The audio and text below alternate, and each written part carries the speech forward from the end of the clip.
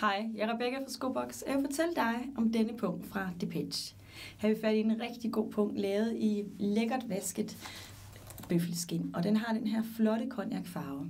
Den her er god lige at tage med i lommen, hvis man skal i byen, eller i sin store taske, hvor man lige har plads til kreditkort, der er plads til tre her i den ene side, og så ellers et stort rum. Den er også god til høretelefoner og andre små ting, man skal have i sin taske. Har lyst til at vide mere om punkten, så spørg mig, eller kig forbi.